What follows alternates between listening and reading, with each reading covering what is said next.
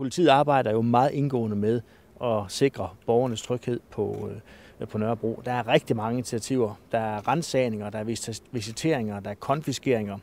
Men vi har også brug for at manifestere klart og tydeligt øh, trygheden og hvem der bestemmer. Derfor øh, vil der fra i morgen blive en mobil politistation på Nørrebro, som jo selvfølgelig skal være der, hvor det særligt øh, presser sig på.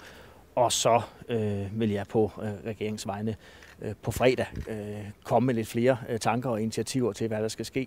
Så sent som i lørdags, der sagde Københavns politi, at en mobil politistation ikke var det rette redskab i den her bandekrig. Hvad har ændret sig? Jamen det er jo sådan, at øh, man kan jo bruge den til mange ting, og det handler ikke om, at det bare er et nulsumsspil. Det handler selvfølgelig også om, at man skal tilføre øh, nogle flere ressourcer. Derfor er det vigtigt, at Københavns politi jo får de øh, ressourcer, de skal have til det her.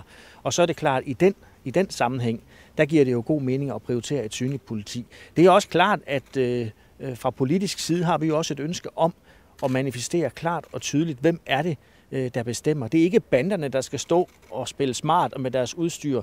Det er politiet, der viser, at det er her, vi bestemmer, det er her, vi er til stede, og derfor kommer der den. Men det er jo ikke fordi, at, at en mobil politistation, det så løser alt, men det er jo endnu et værktøj i, i redskabskurven.